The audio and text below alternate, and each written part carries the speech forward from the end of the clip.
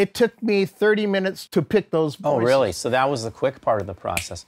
With artists, it doesn't matter if you write it out. You're not going to look at it. That's not what. No, yeah, but I did have, uh, you know, the copies made because it's a seven-minute song. It's a pretty big thing. We put the, I put who the solos were, so we, because that that's the other thing that Ken and Quincy said.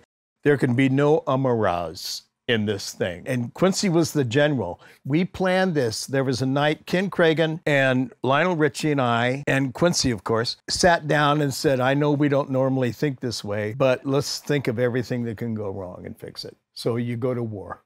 I was just thinking that word That's what you because did. that's what they do. That's what we did.